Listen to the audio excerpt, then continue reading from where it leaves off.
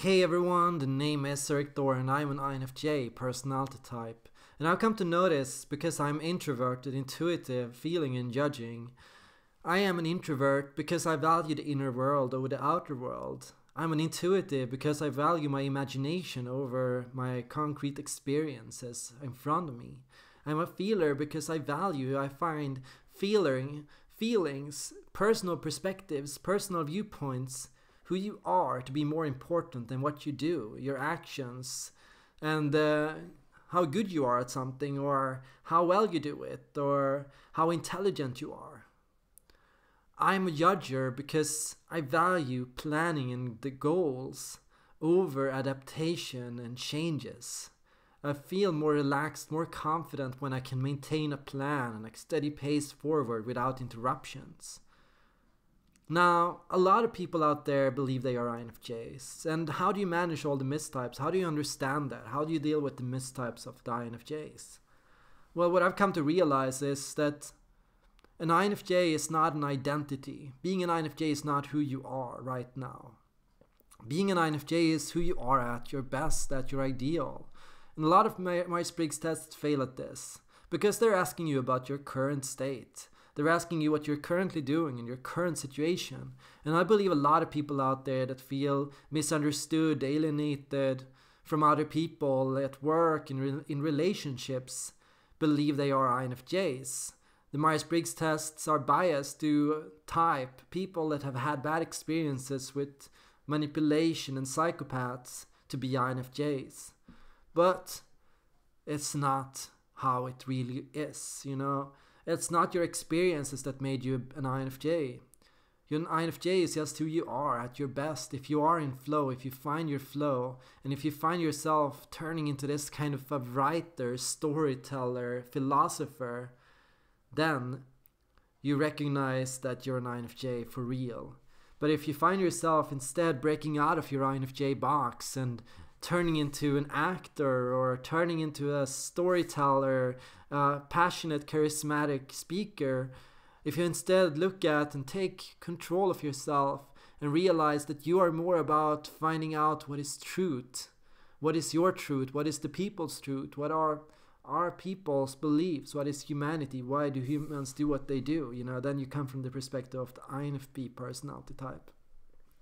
And if you're perhaps a seeker, if you're a planner and strategist, and you come more from the perspective of uh, wanting to work hard towards an ambition or towards some strong goal you have in mind, and uh, more from the perspective of seeking intelligence, knowledge, and to solve puzzles and to understand the complex reality around you, then perhaps you should investigate the INTJ personality type as your now the goal of this video is to help you walk through your own personal experiences of being an INFJ and to think for a second if there is a perspective or a viewpoint here or something in your development that has confused you to think you are an INFJ and to instead identify and focus on your ideal, you know, who you are when you are self actualized. And I want you to imagine yourself right now at the best version of yourself. What do you see yourself doing when you are your best, when you are truly in touch with yourself? What do you do when you're relaxed? What do you do when you can relax around other people and express yourself freely? What can you do when you can speak your mind and share your opinions without feeling reserved or shy or inhibited in any way? What can you do when you feel truly confident in yourself and your ability? What can you do when you allow yourself to have hope and optimism, to believe in your ideas and to not dismiss them as crazy? What will you be if you can honor your feelings or your values and truly express what you think is important, what you think is right and wrong, and what you want to do, what you believe is the best course of action? What will you do when you stop acting to avoid a negative outcome or to hide or to avoid being judged by other people? What will happen when you avoid that uh, bitter realism, that anxiety, that worry about the future, that doubt about yourself? What can you do when you can free yourself from all of that? Flow comes from freeing yourself from all of that. But flow may not take the form you do or you think it will. You might think it will turn you into an INFJ, you might think that you are going to become an INFJ, but you might find yourself instead going in another direction. Now, if you go in the direction of an INFP, what you will notice is you instead take on the qualities of an, an advisor, not a leader. You take on the qualities of a catalyst, not of a visionary. You take on the qualities of a reporter, not a diplomat. You become a voice of truth. You start becoming the voice of truth of the people. You put terms and words and definitions on experiences. You show people what is true and what is false. You show people what is good and what is bad. INFPs are the reporters of society, the true reporters, the ones that can truly see through and into another person and can help them understand their experiences and what they feel and what is right and wrong. INFPs are catalysts. They come from the perspective of change. They come from the perspective of what's going to happen next and how do I alter this situation? How do I change the situation for the better? INFPs come from the perspective of juggling throwing something at someone and then having them throw something back to you. You know, being able to pick things up, being able to make changes and additions. Well, if we go there, if you want to go there, then we should also take a stop there. If you want to do this, then we should also do that. You know, the ability to become a catalyst and to put terms on change, to be able to define change and say, so we should go there, so we should do that, and we should go in this direction. Now, INFJs, as an INFJ, I come from the perspective of vision. And vision is this like idea of an uninterrupted flow. It's this idea of the clear path in the forest. You know, it's the idea of this path you can take that will be so much easier than all other paths. It's this idea of this clearing in the forest that you can pass through and there won't be anything in the way there won't be any obstacles and you'll be able to clear out this path and you'll be able to find a better way to do things you'll be able to find a new way to do things you'll be able to find an original way to do things you'll think of a solution or some way to do something that will be better than the old ways the ways we used to do things. You'll find your own way of doing things. It might not be better than anyone else's way but it will be your way your path. The easiest way forward for you, the natural way forward for you, the way that you see things, the way that is true to your own vision and to your own eyes and to where you feel pulled. It's like a pull, you know, it's pulling you forward. And you don't necessarily want to. The more changes come up, the more interruptions, the more blocks in the way, the more you feel it's not your path. You know, the more interruptions that come up, the easier as an NJ to feel oh, so this is not my path. You know, a path should feel like a steady way forward. And if you should be able to be confident in that, and it should give you confidence, it should like feel effortless to walk on this path. It should feel like it's uh, meant for you. This path was made for you. Um, if it's not, or if it's uh, if you find yourself constantly making changes and taking new turns and twists and constantly going in that direction and then in that direction, then perhaps you should be looking at the intuitive perceiving type. INFJs are not ENFJs. You know, ENFJs, they don't come from a position of empathy, they come from a position of compassion. And both are healing both are healing powers, you know, both heal compassion heals just as well as empathy. Empathy is setting yourself in another person's perspective, you know, seeing another person's perspective and viewpoint, understanding, pinpointing their intentions, why they do what they do. Compassion is defining what another person is doing, what they are saying, who they are, if they are good or bad in doing this. And it is being able to transform another person's situation to say, you should do that, you should change this, you should stop doing that. You shouldn't be rude to that person. You should be nice. You shouldn't be that way. You should be that way. You know, the transformation in compassion. Compassion is about transformation of people's experiences. It's about affection, genuine care for other people. And affection is often misunderstood as sensitivity. You know, a lot of people say INFJs and INFPs are sensitive types. But ENFJs and ENFPs are also sensitive in the sense that they are affectionate. You know, as an INFJ, I have deep sensitive experiences, deep emotional inner experiences inside of me, but I don't often share that with other people, you know. It's very hard for me to do that and to open up to other people. ENFJs and ENFPs, they have very strong emotions and emotional reactions to things. They take like life and death very seriously. They take hurting and harming animals very seriously. They feel very bad in observing other people's struggles and they can get very caught up in seeing suffering around them and they can take that outwardly, express that outwardly to say, you shouldn't be struggling like that. You shouldn't be suffering like that. Why do you have to suffer like that? Why do people have to have this experience? They will get affectionate, emotionally invested in the situation where an INFJ or an INFP will keep their distance. We will feel that it is bad and we will want to do something about it, but we will struggle to enter into that person's situation and to do something in their life. We feel to some extent like we are watching it from a distance, what like watching a movie or watching something that's happening away from us. And we understand it and we think about it and we see the bigger picture. And we try to provide insight and we try to provide emotional input and guidance. But we don't try to insert ourselves into the other's experience or to help them in a direct sense of the word. INFJs come from the perspective of kindness, not from truth. You know, this is very important. You know, as an ENFP, truth is very important to you. You know, ISFPs and ISFJ, uh, I mean, ESFPs and INFPs, they come from the perspective of what is true and what is false. You know, INFJs, we come from the perspective of what is kind, what is the good thing to do, what would a good person do in this situation. As an INFJ, I can see how I can be a good influence to other people, and I will want to help other people, and I will want to guide, and I will want to steer other people in the right direction.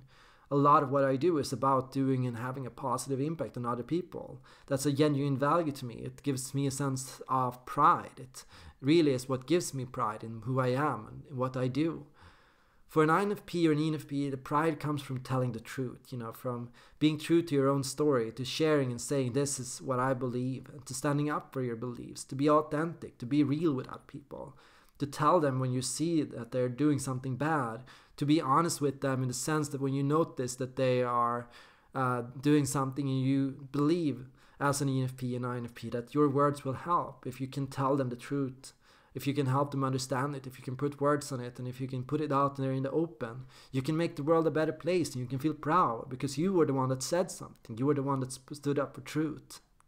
As an INFJ, kindness is a little different. Of course, I value truth, you know. Of course, I'm also a feeling type, so I still see a value in bringing up experience and helping people experience things and helping people understand, you know. But for me, it's often about what and how to phrase truth kindly. How do I express this in a way that will help other people? And if I don't think it will help other people, I won't say it, you know. I won't say things if I uh, have any doubt that it will harm them or put them in a bad situation. So I will often think about truth. Is this the right thing to say right now? When should I say it? When is it the right time to say it, you know? And I will think about how to say it. How do I tell this person this, you know? And that's often the perspective of feeling judging. That's guiding and managing truth, you know, managing how things are done, managing how people experience things, and helping them understand something, you know, helping them understand it in a way that they can deal with it, you know, helping them understand their truth and to make peace with it. That's also very important to me as an INFJ and in a 10 sense when they are struggling to go in there and to want to do something for them. What can i do for you now that you're going through this? Is there anything i can do for you that's very important for me as an infj it's also the question of uh, insight you know? Insight is very different from transformation. I pursue insight. I, I believe there is like a deeper truth behind everything, a kind of root, like a real way everything works according to this real natural law. Like if I can just dig deep enough, I can find this natural law where everything is leading. ENFJs, ENFPs, they have this question of transformation, which is like, what can this become? You know, what is behind the next door? You know, uh, the metaphor of extrovert intuition is this room, this this place full of doors. There's that door, that door, that door, and that door. Where does that lead? Where does that lead? You know, there's like pulling a string and seeing where it leads. For an introvert intuitive, it's a question of digging. Okay, so what's underneath this? What's under this? How, where where is this leading? You know, what is everything leading up to? Where is everything leading up to? There's an idea that everything is leading to some point, some fixed point inside. If everything else is scaled back, it's like peeling off layers of an onion. If I peel away all the layers, what is the root? What is the core? The, the belief that there is a core is very fundamental to the introvert intuitive. Where for an extrovert intuitive, it's like things are always leading somewhere. There's like an infinite string that you can keep on pulling, and there will always be more things to uncover, and more to discover, and more doors to open. And that's also why it's kind of an eternal process. and um, for me, it's a question of uh, finding truth. For them, it's a question of making a discovery. And uh, looking at everything together, you know, you have to understand that the INFJ is a leader. A leader is somebody that comes from the inside and comes from the perspective of uh, goals. There is like this, uh, there is this things everything is leading up to. There is this idea of this moment that everything is leading up to this path that I'm following this way that I'm going towards. There is this idea that everything is leading somewhere and should be leading somewhere. And if it's not leading anywhere, then it's very bad. Then it's very, very bad. It has to always lead somewhere. Uh, there always has to be a way. And uh, ideally, this way is very important. This is very important to follow this way, to follow this path. You know, in times in my life where I've been asked uh, to change my path, I've almost always chosen to keep at my path. I haven't always been able to define where I'm going. It's very hard for me to put words or terms on what I'm doing, where I'm going, and where I'm headed with things, you know? But I always feel like I'm going somewhere, and that's very important to my experience. And uh, it's very important for me to theorize. You know, theory is so important for me. Theory, as in, why? Can I understand something theoretically? You know, I care honestly more about that theory than about the discovery. I care more about formulating a theory than proving it in the world around me, going out, testing it, seeing how it works. You know, I'm not going out there, I'm not going doing interviews, I'm not making studies, I'm not doing research, you know, I'm not sitting there and asking questions and reading and studying up in different literature and going out and interviewing researchers. Research is not a priority for me because I'm not an explorer, you know. Explorers, uh, extroverted perceiving types, they love, they get a kick out of research, you know, doing research, finding out new things. Oh, so that's what that person thinks. Oh, so that's what you that article says, you know, that ability to get new research on various matters and to learn new things about it. You know, explorers they love to go on a research project and to get as much information as possible. Leaders, we're like, how do I use this research? how do I put it all together? Okay, there are all those ideas. How do I put it all together? You know, how do I package this? As a leader, you think about how you take everything in the world and how you give it direction, how you organize it, how you drive it forward, what you do with it. It's the question of uh, thinking in the way that you want to put it together, you want to package things. You know, ISTJs, they love to build things. I like to make concepts for things. I like to uh, come up with uh, like these comprehensive models and theories for things. Um, I'm sitting and making tables, trying to organize and understand psychological terms and various ideas. And then I do research to back that up and to get the information necessary. But I'm always packaging things. I'm always putting things together. I'm not taking them out there. I'm not taking them apart. I'm not questioning the ideas. I'm not an advisor. I'm not an INFP. I'm not going in there and questioning everything and going, so can you really do it that way? Does that really work? Can you really do it? Use that term in that way? Does everyone understand this correctly? You know, I'm not coming from that perspective, and uh, I'm not coming from the perspective of an executive or a manager either you know recognizing all of this you know really digging into your personality type is digging into what makes you happy. What really makes you happy? What does it what does it really mean for you to be happy? What are you doing when you're happy? If you're an ENFJ when you're happy, if you're an INFP when you're happy, if you're an ENFP when you're happy, then you should really be investigating that in yourself. Maybe there are things you can do in your life that will get you out of your uh, current rut. Maybe it will help you out of this feeling of alienation. Uh, maybe it will help you out of this experience of feeling isolated from other people. Finding flow and recognizing you're not an INFJ as flow and understanding that you're an INFJ right now, consider what experiences made you think you were an INFJ. Sometimes people think being an INFJ is being a seeker, searching for something, but never feeling fulfilled. But being an INFJ feels fulfilling to me. Sometimes people think being an INFJ is like being some kind of muse.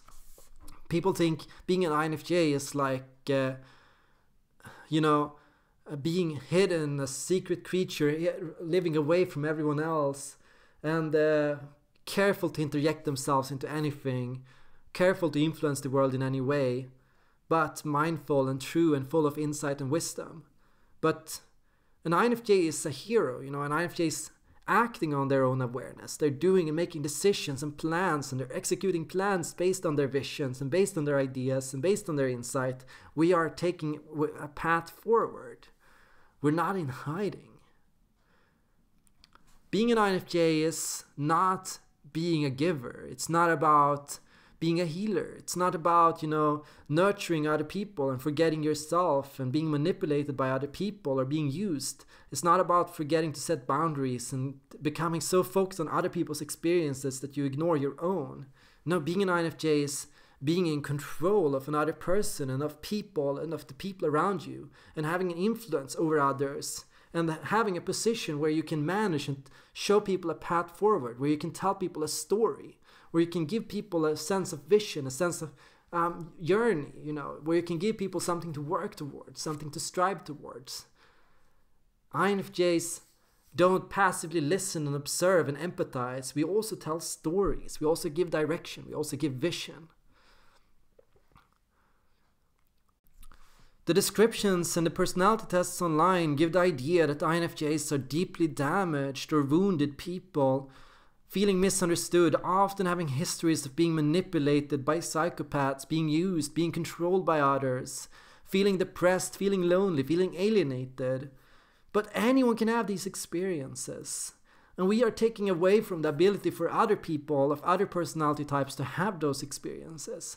We are forgetting that feeling uh, misunderstood is a human experience, and we are cutting ourselves off from being able to relate to other personality types from being able to value other personality types, from being able to see other personality types' true possibilities and powers, and from forgetting to respect and to understand other people's skills and gifts. We are creating the idea of an INFJ as a Jesus or a Messiah. And we are also inhibiting and forcing fake ideals on ourselves that make us feel weak and make us feel insecure and make us feel smaller than we are. And we need to break out of the box. And perhaps to you that will mean realizing you're not an INFJ. Or perhaps that will show you where you need to go to find greater flow. And when you discover that you're an INFJ, when you find your story to, that you want to share with other people, when you find your vision that you want to walk towards, when you find the courage to lead, that will make you feel happy. The goal of personality psychology must be to spread happiness and self awareness and insight. If it doesn't, it has no purpose and you shouldn't be using it at all. Those are my thoughts on INFJs. Hopefully, this video helped you. And if it did, feel free to share it with other people that you think will help them.